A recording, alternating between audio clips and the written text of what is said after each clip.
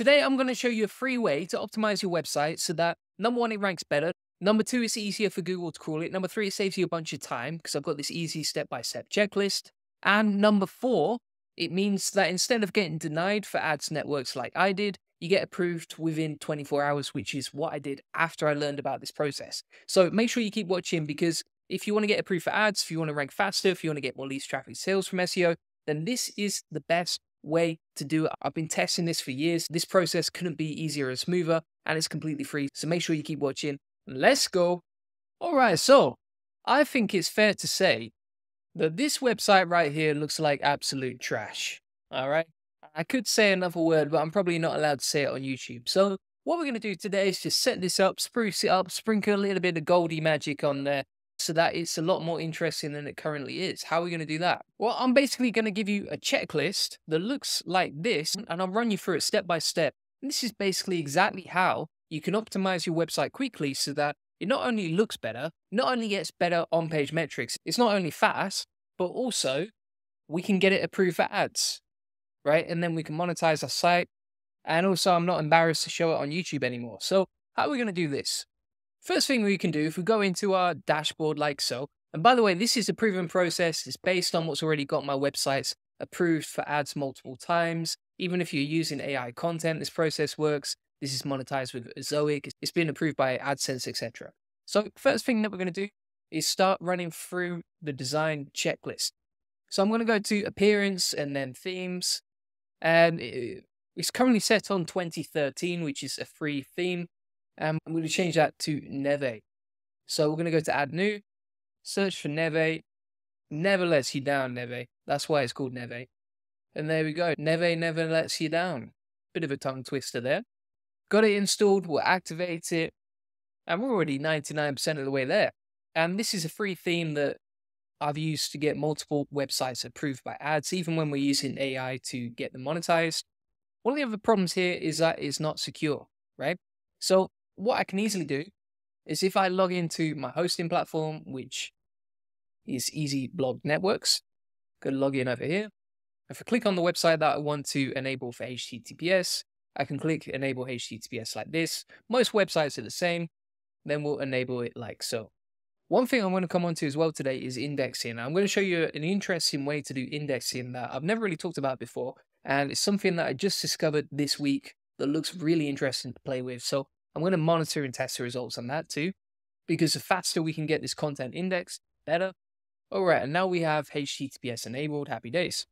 Another thing you want to do is typically with WordPress, you'll get a couple of sample pages on the website. So for example, this coming soon page right here, we're just going to trash that because it's a total waste of time. That does not help anyone. And I'm just going to tick these off the list to show you how you can actually use this as a checklist as you go through. Next up, it's time to actually set up the contact and about us and the privacy pages for this website. How are we going to do that? So I've got this chat GPT prompt right here. I'm going to link to it in my free course so you can get access. And what I can do is just go into chat GPT like so, pop in the website URL like this, um, this is really easy just for blasting out contact pages, about me pages, etc. Because you can see it's got the website, then what the website's about, then it's got the English, then you can change the language as well. You can plug in the details about your author. I'm just going to use me for now because that's better than a fake person. And it's got links to my social media profiles as well. Then the prompt says, write in the language above. And I'm going to have an about me page, a privacy policy, and a contact page. And now we're good to go. So we'll plug that into ChatGPT like so. And in the pages section, we can just add one, two, three pages right there. And then you can see that it's created the privacy policy, the about me page, etc. Uh, we can just quickly paste those into our website. And finally, we got the contact us. I just want to quickly explain what we're doing in the contact form, right? So you want to make it as easy as possible for people to contact you, not just so that people can actually contact you, which of course is the goal, but at the same time, you want Google to crawl your website and see, oh, there's an email address, there's social media profiles. Even if they're not 100% relevant, I still think that's better than having no profiles at all. And then, oh, that's a real person with real social media and an actual company and a company address, etc. I think that does make a difference. Probably like a 0.5% tweak. It's not going to be as important for EEAT as, say, backlinks, but it can help. And every little counts. So we've published the About Me page. we've published the privacy policy, we've published the contact us. Nice and easy. And you might have noticed I've got the camera on today. That's simply because I am back from Phuket and I'm back to Bangkok. I'm speaking at DC BKK this weekend, living the dream. So now we're going to go to plugins, and you can see on the website there's no thumbnails for this content, right? So how are we going to fix that? Well, what you can actually do is if you go down to Tools, Regenerate Thumbnails, this is a free plugin. If you don't have it, you can install it. But basically, when you're using tools like Autoblogging AI and you're publishing directly from there to your website, then you have to regenerate the thumbnails. So we can just leave that open in the background and we're making good progress. In just a couple of minutes, we've switched the theme, got the HTTPS working, trashed any sample pages, set up the contact privacy and about page, regenerate the thumbnails for the website. What else? So the other thing that I need to do is if you look at the posts, you can see that it's all been created by a lady called Crystal Richardson. Only problem is Crystal doesn't actually exist. And if you want your website to look real, then there's no point in having fake personas on there. I mean, Uh, don't get me wrong. Plenty of websites still rank with a fake persona or no persona. It's just if you want to stack the odds in your favor, then you're going to do everything you can, right? And that's what we're doing in this setup so that we have the best possible chance of ranking. So I will type in my details on the website. Then we're going to change that to Julian Goldie over here. We'll hit update profile like so. And then if we refresh the page, and let's say we navigate to the last few, you'll see first of all the thumbnails showing up, but also my name. And by the way, how good do these images look? If you compare AI generated images versus Unsplash now, it's crazy how good AI images actually are. Looking beautiful, even though I do say so myself to myself. Next up, what we want to have is we want to make sure that we've got author bio set up for the website, right? So for example, if we check my website, let's take a look at this one, and we scroll down, you'll find this author bio about me that has my name, has a link to the about page, it talks about who I am and why I'm an expert, and then it's got links to my social media profiles. So I want to get the same thing set up on this website too. How am I going to do that? So all we need is a simple author box, right? So what we're going to do is search for simple author box. That would make sense. And then we'll install this over here, activate it like so, and we'll start setting that up.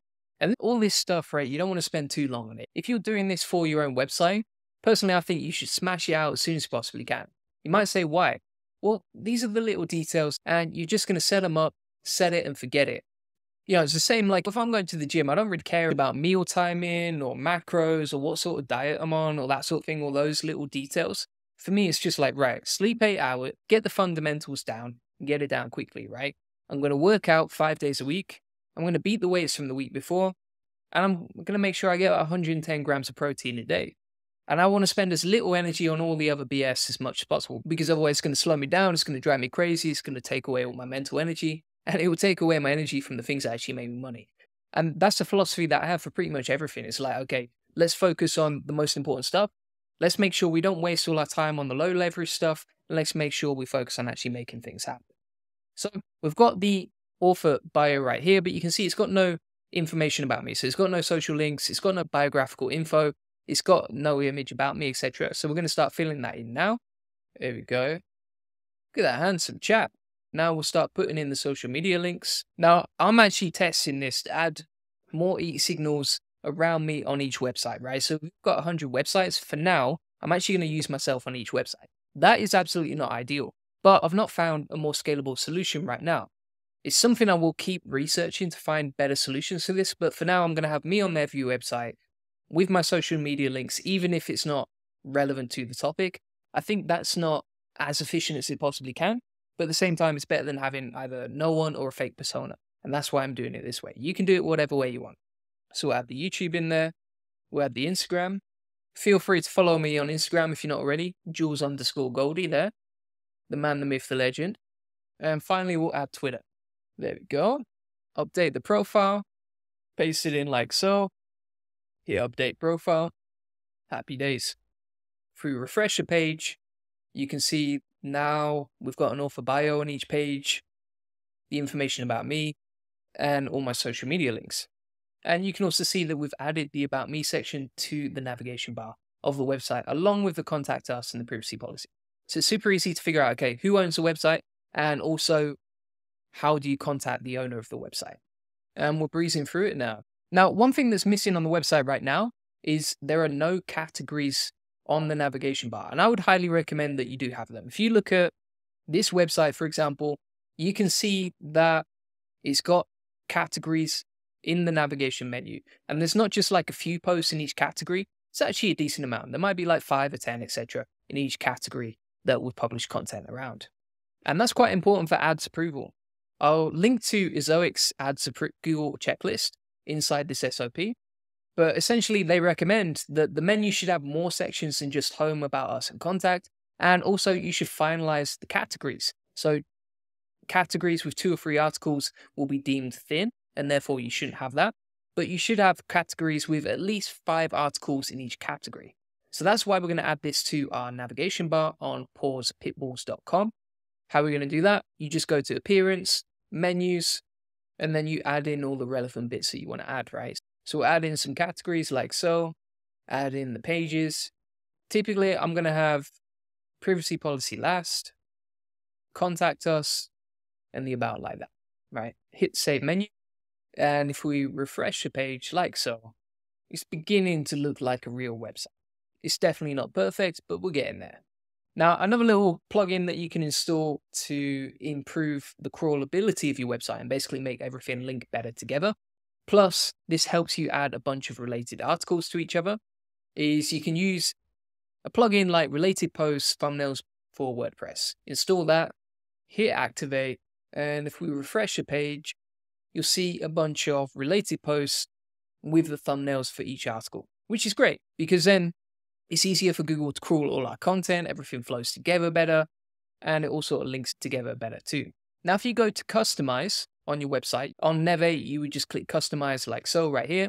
And then from customize, what you can actually do is go to widgets and we can optimize our sidebar so that it's more crawlable as well. So for example, we can add a widget that says categories. And now that will generate all the categories for our website, like you can see right here. So that it's easy for Google to crawl the website and also it's better usability, right? So if someone's reading the website and they're like, right, I want to read more about this subject or that subject, etc., they can see it.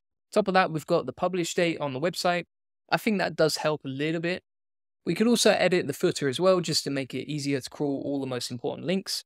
So for example, if you go to juliangoldie.com, you can see a bunch of links right here and it has an about section, has a contact section, has links to our main pages. And the reason I like to use Julian Goldie as an example is simply because since all the updates, it's actually done pretty well. Like, for example, you know, back end of July, it was getting around 98 clicks a day. Now, even on a bad day, it's getting 300 clicks a day. So it's a good indicator of what to do. It's not like everything we do on this website is perfect, but like I say, it's all about adding up the 1% here. So we can add some footer menus like so. Also, as you'll see from this setup, it's all completely free to do. So you don't have to pay for any fancy plugins or any fancy tools, etc. Everything that we're doing today is completely free and you just follow the checklist. So it keeps your costs down as well. So I'm just going to add a footer menu with the about me, etc. here. Then I'm just going to add some social media links into the footer. And to do that, all you do is add a new footer, hit settings, click add widget, and then you can add like, for example, social links like that. Very basic, but it does the job. Then you just add your tag inside like this, pop in the Instagram, pop in the YouTube, refresh the page, and it's coming along. We're gradually getting there. And then I'm just going to add like some contact us information in the bottom there.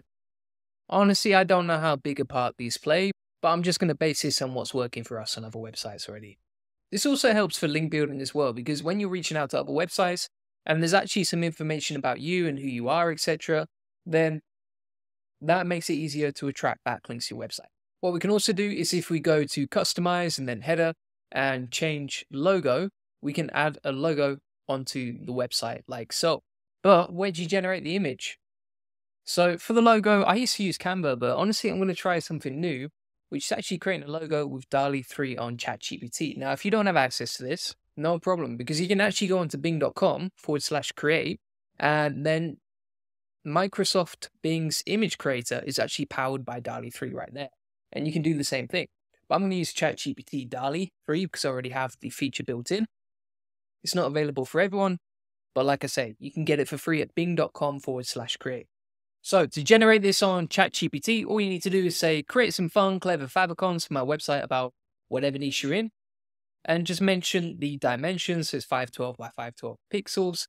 Then ChatGPT is going to generate a favicon like this. As you can see, square image. From here, if you scroll down to select site icon, we'll select this icon right here. It's good to go. And that will change the image like so. And now you can see it popping up right there. You can also add a logo if you want in the top left. To do that, you just upload it right here. And by this point, all the thumbnails have been regenerated, as you can see right here. So we've generated a thousand thumbnails for the website, and you can see all the images are coming through nicely. You can see we've got the favicon there, we've got an about me, the categories, contact us, footer with all the details about the website, it's not perfect, but it will do for now, and then we can always make it better later. But that's basically it. That's how you do it. And I've detailed it step by step in this tutorial. I'll also add the video link from this video today so that, you know, if you're giving it to a team or you're following it yourself, you can always come back to it and follow it step by step, and it's good to go there. Basically, you're the whole process. You might have some issues as well with the content and the sidebar. If you want to edit that, you just go to customizing, layout, then content and sidebar you can change the layout. So I'm going to have the sidebar on the right, and then the content here. So I can actually run some ads in the sidebar too. And then for single posts, I've got the content width at about 60% so that the text is not too crammed on the sidebar. And we're good to go on that. So we'll hit publish. Another little widget that you might want to add is the table of contents to your sidebar. And then you can drag that to the top over here, hit publish. All right, all right, all right. So that's basically done now. It's all set up. We've got the about me, we've got the categories, we've got the contact form, we've got a little favicon. Thank you, DALL-E 3. We have the table of contents on the website, recent posts, everything's set up there, ready to go. In the bottom of the footer, we've got the about, social media links, contact section, about me, and the key pages there. And on top of that, we've got the about me profile page here. And we have this Julian Goldie lad, the guy behind the keyboard, and the leash at pawspitbulls.com. So next up, I want to try indexing this website because we've created this site. You've seen it's got about a thousand posts, but basically nothing is indexed right now. So how am I going to fix this? Well, I'm going to try a new service that I've never shown before and we'll just test it together. I'll test it so that you don't have to pay for it. It's pretty cheap. I think it was about $10 for 10,000 uh, links right here. Let's test it out and see how it goes. So we've got 10,000, it's about $10 pretty cheap versus other tools I've used. And we're going to go to my sitemap right here. I'm going to use link grabber, grab all the posts from my sitemap, which you can see here. Then we're going to go into paste links here on pawspitbulls.com and hit start upload like so. And what I'll do is I'll come back in a future video to see and test whether that actually ranks well, whether it gets indexed faster, etc. Because this website has been live and it's been on Google Search Console for a couple of days. So let's see how long it takes to get that content indexed and actually ranking. And for a thousand pages, it costs $1 to get them all indexed, which is super cheap, right? So let's give it a whirl and see what happens. And that's basically it. Now, if you want access to the site setup checklist and everything down here, you know, whether you want it, whether your team want it, etc., then I'm going to leave a link inside my free chat GPT course. Links in the comments. If you want to check that out, you can get instant access. If you want to book in a free call about how to get more leads, traffic, and sales to your website and get a free domination plan, plus we'll answer any SEO questions you have, and you'll discover the best link building strategy for your website, then feel free to book that in. Link is in the comments as well. Thanks so much for watching. Bye bye.